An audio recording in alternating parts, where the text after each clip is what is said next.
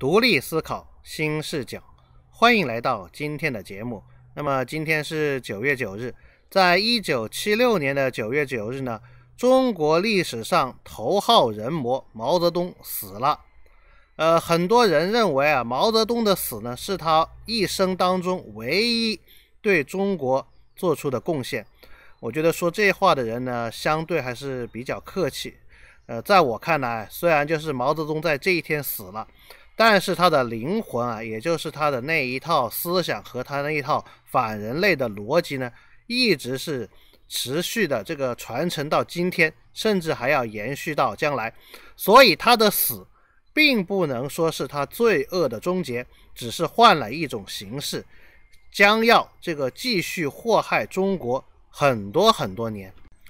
毛泽东的一生呢，可以说是罪恶的一生啊！就拿他四九年所发动的各种运动来说，就导致数以千万计的中国人是无辜的失去了生命。现如今呢，很多五毛以及粉红呢，最喜欢就是拿日本在侵华战争当中杀死多少中国人来说事。但是，相较于日本在这个二次世界大战以及侵华战争当中杀死的这个中国人，毛泽东在和平年代迫害死的中国人数量更大。相比之下呢，日本在毛泽东面前呢，可谓是小巫见大巫。我们不能否认，就是在战争时期呢，日本杀害了无数的中国人。但是，我们也不能忘记，在和平年代被。伟大领袖迫害致死的那些更多更多的中国人，其实日本一直在为侵华战争所犯下的那些罪行呢在反思，呃，尤其是在二战后啊，在七十年代呢，对中国进行了大量的无偿援助，包括现金啊、医疗啊、教育各个方面。就拿现金援助这一项来说啊，就一直持续了四十多年，直到安倍政权取消对华经济援助为止。当时安倍在取消这个经济援助的时候，中国的外交部还出来咬了两口啊，就是表示一个严正的这个抗议。我就不知道你们抗议个毛啊！而相较于日本啊，中国共产党从来没有为毛泽东。发动以文革为代表的各种运动进行过任何的反思，那么最终的结果就是导致了1989年的六四天安门的惨剧发生。毛泽东呢，虽然肉体呢已经消亡了，但是就像我前面讲的那样，他的灵魂尚在。就拿现在所谓的新时代来讲啊，各种改革其实就是在复制毛泽东上个世纪六十年代的那一套啊，试图将中国社会啊已经这个改革开放了四十年的这样这样一个社会呢，是重新拉回到上个世纪六十年代那个人间炼狱当中去。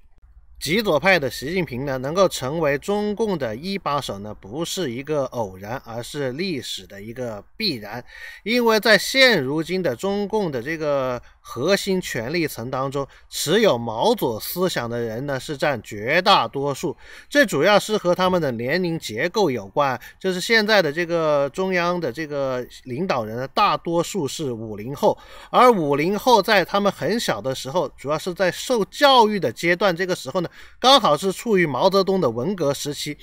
他们大多数人呢受毛泽东的文革影响非常的深远，可以说是根深蒂固。呃，其中绝大多数呢又成为了毛粉，所以他们对于毛泽东。当年文革的那一套是非常的向往，呃，他们成为这个核心权力层之后呢，就会用他们试图啊，就是用他们的方法把整个社会拉回到那个年代当中去。这里最可悲的是，就是目前来看，以习为首的这些极左派呢，是在给年轻人，就是给新一代的年轻人在洗脑，包括现在的一零后，甚至是将来的二零后。当一零后和二零后在四五十年之后啊，成为这个新的核心层的时候呢，他们又会受习思想的影响，把中国社会再拉回到文革当中去，就会出现文革三点零、四点零、五点零，甚至是 N 点零。